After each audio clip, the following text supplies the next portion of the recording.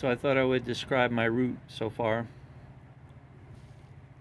So I went from Tucson to Rocky Point on Monday, stayed overnight, went to San Felipe the next day, and today I went down to Guerrero Negro, which was definitely a good choice. Um,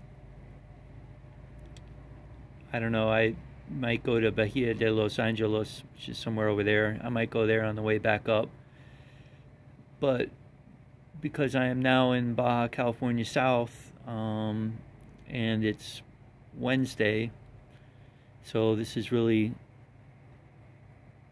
day two of my scheduled trip.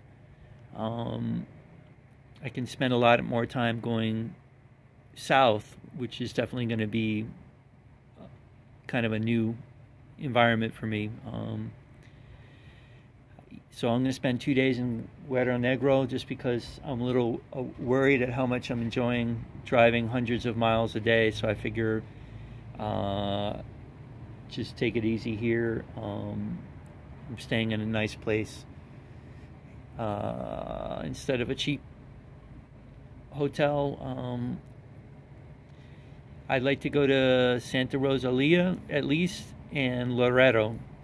And depending on how things are going, I might go to La Paz, um, which is somewhere down here. But I'm not really sure if I want to be riding six or seven hours a day um, or trying to relax into a little spot. Um,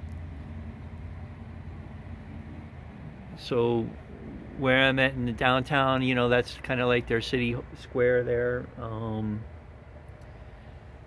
and this is a bed and breakfast, so I'm gonna have some breakfast tomorrow, and I might just cruise around or read or do something, um, do some laundry, and have a day off of driving hundreds of miles.